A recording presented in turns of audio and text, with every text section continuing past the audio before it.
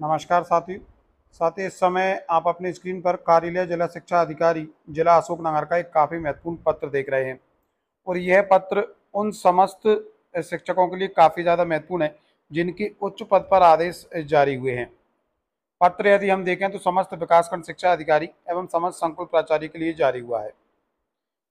इसका विषय है, उच्च पद प्रवाह हेतु जारी आदेशों के पालन में संबंधित लोक सेवकों को तत्काल कार्य मुक्त किए जाने बाबत। अब इस पत्र का जो संदर्भ है वह काफ़ी ज़्यादा महत्वपूर्ण है। आयुक्त महोदय, लोक शिक्षण मध्य प्रदेश भोपाल द्वारा दिनांक 31 सात 2023 को बीसी में दिए गए निर्देश।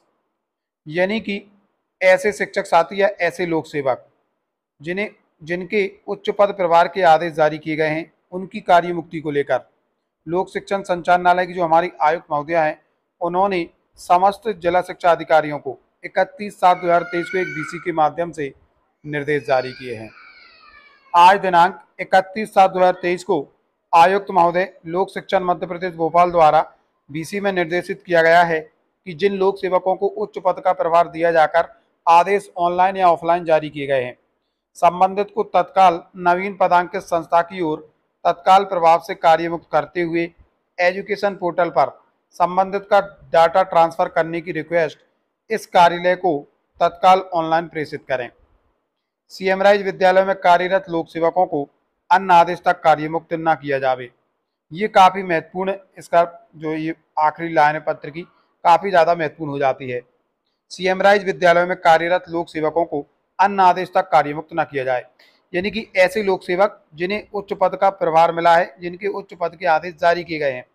और वर्तमान में वह सीएम राइज विद्यालयों पर कार्यरत हैं, उन लोक सेवकों को आगामी आदेश तक कार्यमुक्त नहीं किया जाना है। ऐसे लोक सेवक सीएम राज विद्यालयों पर कार्य करते रहेंगे। और ये जो निर्देश हैं वह बीसी के माध्यम से आयुक्त महोदया के द्वारा समस्त जिला शिक्षा अधिकारियों को प्रदान किए गए हैं। उसी क्रम में ये महत्वपूर्ण पत्र कार्यालय जिला शिक्षा अधिकारी जिला अशोकनगर से जारी किया गया है। तो सीएम राइज स्कूलों में पदस्थ लोक सेवकों के लिए काफ़ी बड़ी खबर है।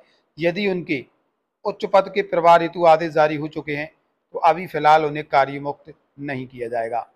तो साथियों, ये था आज का महत्वपूर्ण अपडेट, जो कि उच्च पद प्रभार प्रक्रिया से संबंधित था।